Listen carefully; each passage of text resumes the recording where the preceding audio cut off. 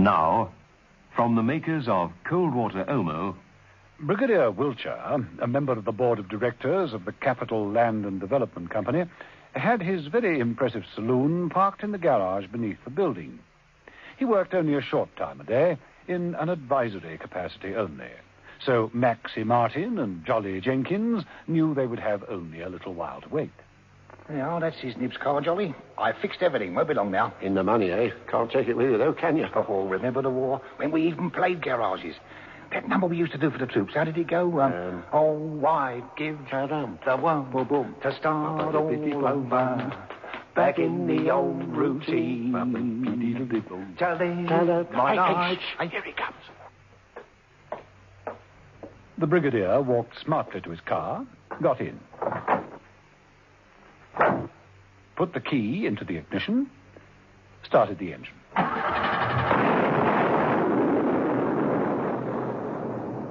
I told you it'd go like a bomb.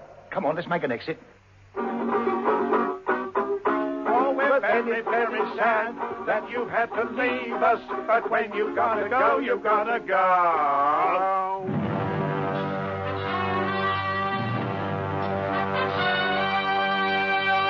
The Avengers.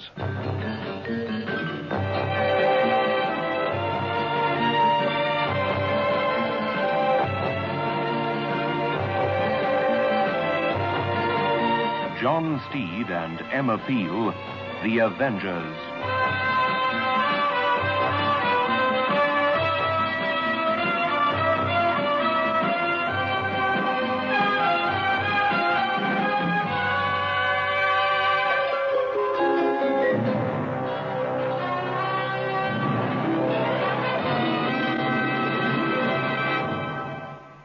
Once an OMO user, always an OMO user. This is what Mrs. Lyons of Yellowwood Park, Durban, has to say. It is the one powder that does everything. Well, for me, I know that. Yes. There's so many things that I've, I've used and experimented with just to prove cold water Omo, really to put it to the ultimate test, you know, and I find that it's, well, it's come up to all my expectations. Yes. Cold water Omo cleans best. Don't just admire your little girl's complexion. Share it. Knight's Castile is doubly enriched with lanolin to keep your skin soft and young. Pure, mild Knight's Castile for a complexion that never grows up.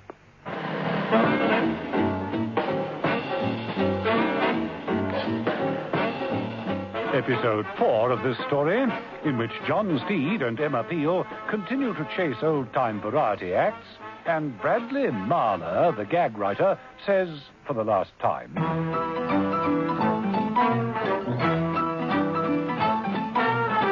Stop me if you've heard this. Steed was sure he was right in thinking that the murders of the directors of the Capital Land and Development Company were connected with old time variety music hall.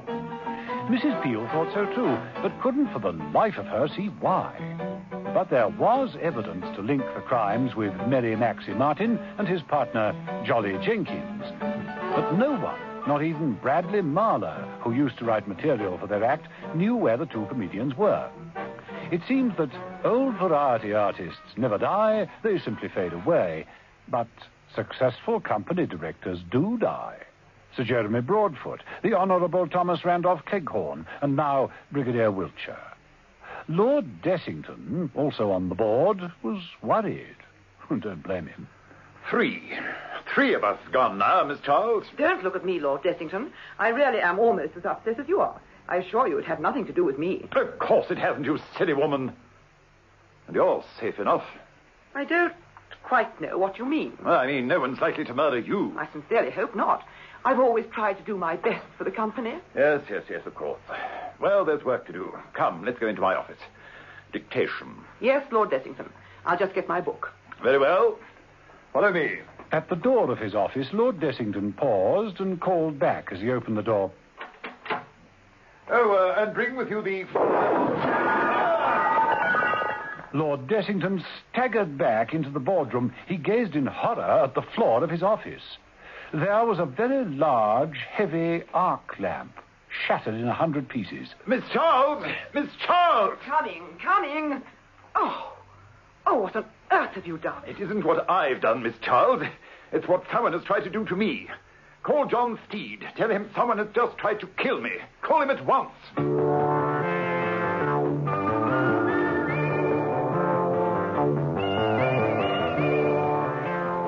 John Steed arrived in double quick time. Hmm. Placed so that it would fall upon the next person to enter. Old fashioned type of joke. The would be killer has an old fashioned mind. It all fits.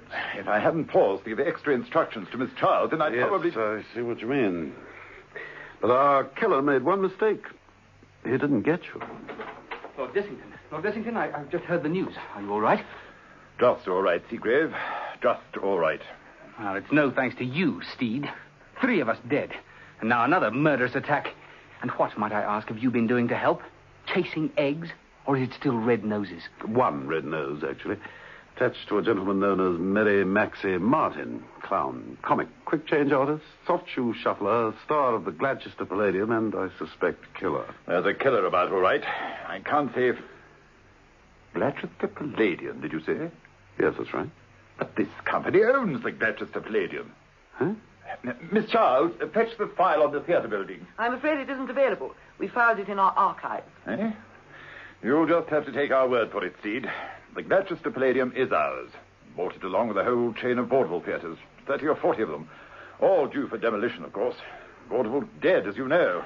Yes, I can't that's what Mrs. Peel and I have both been saying. And Mrs. Peel advanced the theory that vaudeville might be fighting back. It looks as though she's right, doesn't it?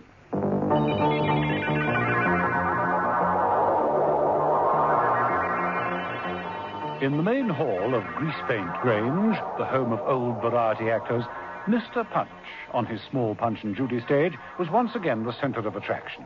He banged the stand with his cudgel. Failed, failed, failed. Oh, we're sorry, Mr. Punch. Very sorry, Mr. Punch. Sorry? What's the good of being sorry?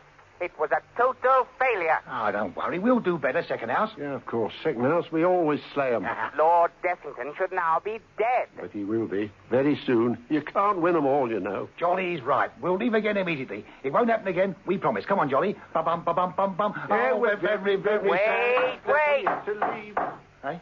I asked the company earlier if there was anyone you could think of who might prove to be a danger to our plan. Oh, we told you. No one. No one. Miss Letty from Lancashire says otherwise. Not so, Miss Letty? What about your old gag writer, Maxie? The one who gave you all those blue jokes that closed us down in Scunthorpe. What, you... You mean... That's right, Bradley Marler. He was a lousy writer, in my opinion. Should have stayed off the stout more. But he was devoted to you. He'll know where you are and could give us all away. Bradley Marler. Haven't used him for years. Well, you'd better use him now. Once and for all time. Agreed?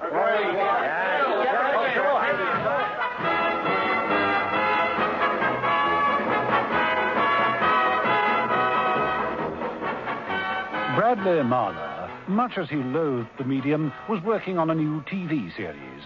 It was clear from the amount of paper reaching up to his ankles that he wasn't getting along very smoothly. There was no knock at the door, it was merely thrown open. And entrance as usual. I say, I say, I say. Would you care to hear what the girl said to the sailor? Absolutely impossible. Ha ha, perfectly right, I think. Oh. Maxie. Maxie, Martin, and Jolly Jenkins. Great, just great. Hi, boys, take a chair. Hi. Long time no see. Funny you chaps should pitch up. You know, there's been a fella in here looking for you. Is that so? You hear that, Jolly? Uh, just in time. We found you just in time. Where you been hiding yourselves? Underneath the arches, uh, we dream our dreams away. Got it! Grease Paint Grange. That's where you've been, of course. And you plan a comeback, so that's why you come to me. You need fresh material. You, you want to get in and make a killing, that's right? A killing. That's right. A Killing. That's right. Hey, uh, do you remember that knife throwing act I worked out for you? It was sensational. Sensational. Uh, you remember, Jolly? You used to stand in front of that ball. Yes, yes, that's right. Uh, show me how, Brad. Show me how. Uh, you you have your hands outstretched uh, like like this. And you, Maxie, you used to pretend that you were drunk. Great. Yeah, that's right, that's right. I used to stagger about the stage like this. oh, oh, yes. And I had a bit of pattern. I, I used to sing a little number. I'm hungover bad this morning. That's why they call me Max the Knife. And then I used to throw the knife drunkenly, but of course very accurately, like this. Oh! The large, vicious-looking knife swished through the air. It was accurate. The handle protruded from the center of Bradley Marler's chest. We're very, very sad that you've had to leave us. But when you've gotta go, you've gotta go.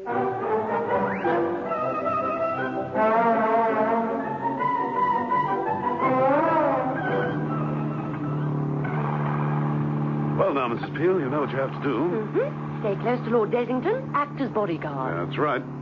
I think there's no doubt that they'll try again. Right. I'll stay very close. I won't let him out of my sight, not even for a second. Three people have been killed, and, well, I suppose one can't blame people like young Seagrave for wondering why we haven't foreseen what would happen. They could try and get at Lord Dessington at any time. Don't worry, Steed. They won't get at him. Not with me around. That's what I like to hear. Confidence. Well, here we are. I only hope that Lord Dessington agrees to your being so, um, intimate. we'll see just how intimate he thinks it's going to be.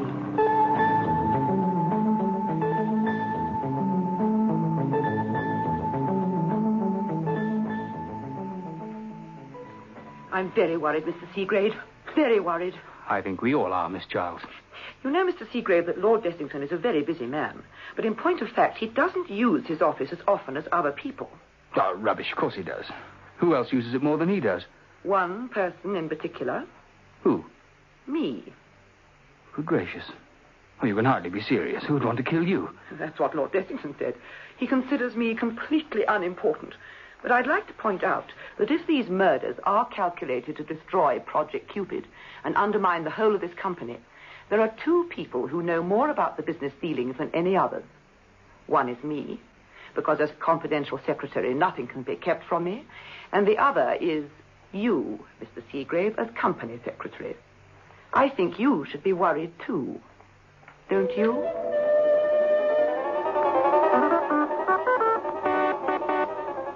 John Steed dropped Emma Peel off at Lord Dessington's and drove home in a thoughtful mood. When he entered his apartment, the phone was ringing. Steed. Steed. Uh, Mr. Steed. Marler. Bradley Marler. Yes, what is it? I don't, don't know what you can make of this, but but it it really killed me. When when Merry Maxie called, Maxie Martin called on you. Did you get his address? yes, uh, written it down uh, on a paper. Uh, the, the knife. Knife? What knife? What, what are you talking about? Marler. Marler, answer me. It, it's it's on the. Uh, uh, Marler. What is it, Marler? What, what are you playing at, Marler? No good, Steed. Bradley Marler has cracked his last gag.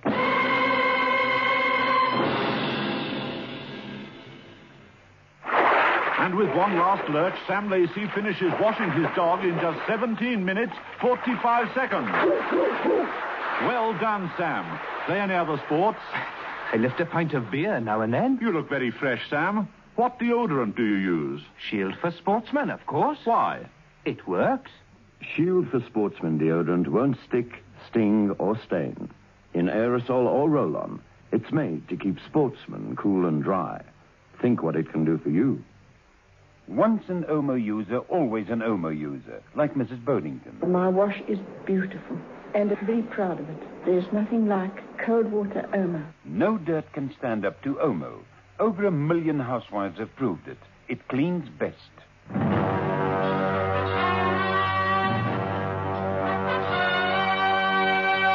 The Avengers. Listen every evening, Monday to Friday, to John Steed and Emma Peel, The Avengers. Brought to you by the makers of Cold Water Omo.